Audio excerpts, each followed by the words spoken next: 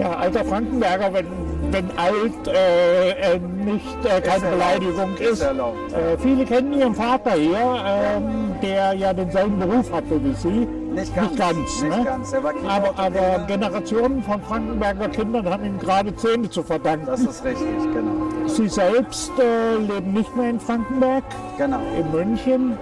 Und Sie haben sich ein besonderes Projekt auf die Fahnen geschrieben. Genau. Was man hier in Deutschland früher so abwertend als Hasenscharte bezeichnet hat. Genau. Ähm, heute heißt es, äh, Heute ist es eigentlich äh, besser von einer Fehlbildung zu sprechen, also von der Lippenkiefer-Gaumenspalte. Und es ist auch so, dass weltweit Kinder davon betroffen sind. In geburtenstarken Regionen natürlich entsprechend mehr absolut gerechnet, auch mehr Kinder. Und Vietnam ist ja ein äh, sehr junges Land und äh, sehr dynamisch. Und dort sind die Kinder eben auch in den großen Metropolen eigentlich gut versorgt, aber die ländlichen Gebiete sind eben auch problematisch. Jetzt haben wir natürlich in Mitteleuropa ein einigermaßen funktionierendes Gesundheitssystem. Das heißt, Sie hatten es äh, vorhin anklingen lassen, die ähm, Lippengaumensspalte wird oft schon pränatal gleich äh, operiert, äh, dass da bei den Kindern kaum was zurückbleibt. Genau, also es ist so, dass normalerweise der beste Behandlungszeitpunkt in den ersten, im ersten Lebensjahr ist, sowohl für die Lippen als auch für die Gaumenspalte. Man fängt die erste Operation eigentlich schon mit drei Monaten ähm, mit dem Operieren an für die Lippe und nach neun Monaten erfolgt dann der Gaumenverschluss, damit man letztendlich eine, eine äh, Verbesserung der Trinkfähigkeit und auch der, des Lippenschlusses bei den Kindern hat, sodass die Ernährung einfach gesichert ist.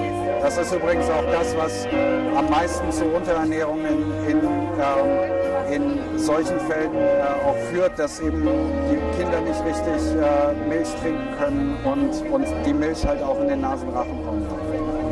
Äh, Gerade in den Ländern Südostasien sind sie viel unterwegs, Vietnam, aber auch Lateinamerika. Das machen andere Kollegen, aber die Deutsche Kleft-Kinderhilfe ist weltweit tätig, auch in Bangladesch, in Indien, in Vietnam. Und dort betreuen wir eigentlich verschiedene Ärzte, betreuen ehrenamtlich dort die Projekte. Ich, mein Projekt ist in, in Vietnam. Jetzt ist es so, dass gerade in diesen Ländern natürlich Kinder einen bestimmten Stellenwert haben. Das heißt, der Sohn ist gewünscht, die Tochter ist eigentlich nur teuer, wenn man sie nicht äh, unter die Haube bringen kann. Und diese Kinder sind eigentlich oft dann äh, zum Scheitern verdammt.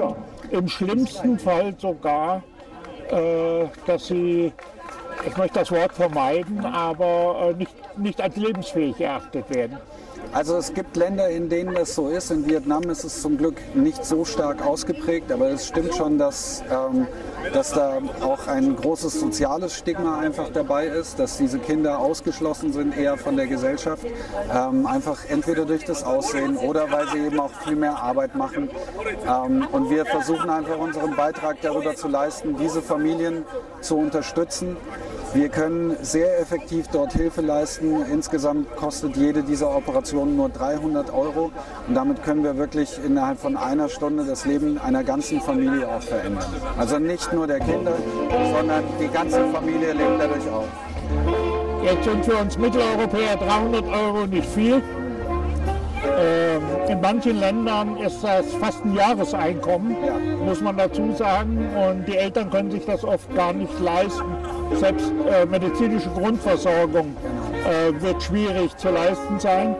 Ähm, wie dankbar ist man eigentlich auch, äh, wenn, wenn Sie mit Ihrer Truppe kommen oder Ihre Kolleginnen und Kollegen finanziert von der Stiftung, von dem Projekt, ähm, solchen Kindern, solchen Familien ein soziales Leben ermöglichen. Ähm, also ich persönlich bin sehr dankbar, dass ich es überhaupt machen kann. Ähm, man kriegt diese Dankbarkeit von den Familien auch zurück. Aber das Schöne ist auch, dass wir dort eine Infrastruktur aufbauen, um nachhaltige Versorgung das ganze Jahr über zu leisten. Also die Hauptarbeit wird eigentlich in den 51 Wochen geleistet, wo wir nicht da sind, weil wir durch unsere Struktur einfach dort die Kollegen ausbilden können. Und wir kommen halt bei den schwierigen Fällen hin und unterstützen sie dann auch, dass wir zum Beispiel bei der letzten ähm, Mission jetzt letzten Dezember, wo wir endlich nach Corona, nach fast drei Jahren wieder hingehen konnten, 80 Kinder in einer Woche operieren konnten. Ja, und man kriegt unglaublich viel einfach wieder von den Familien zurück. Und viele Familien sehen wir dann auch jedes Jahr und begleiten sie, weil auch viele Folgeoperationen dann ja trotzdem kommen. Bilden Sie auch ähm, Ärztinnen und Ärzte in den entsprechenden Ländern Ja, äh, aus? Sie haben ja, glaube ich, auch eine Lehrtätigkeit. Genau, also ich bin Dozent an der Universität Regensburg. Ähm, aber für mich ganz wichtig ist auch, dass wir während unseren Aufenthalten dort in Vietnam mit den Kollegen schwierige Fälle besprechen, dass wir Konferenzen abhalten, dass wir ihnen Entscheidungshilfen an die Hand geben, sodass die Versorgung dort in ihrer Gesamtheit sehr, sehr viel besser wird.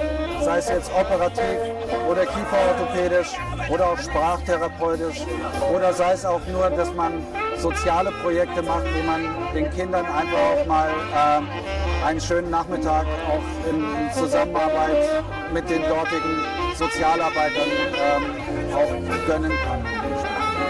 Haben Sie einen Überblick, wie viele Spaltkinder Sie und Ihre Kollegen im Rahmen des Projektes inzwischen zu einem besseren ähm, Leben verholfen haben? Also wir operieren oder wir finanzieren pro Jahr mehrere hundert äh, Operationen ähm, in allen verschiedenen Projekten.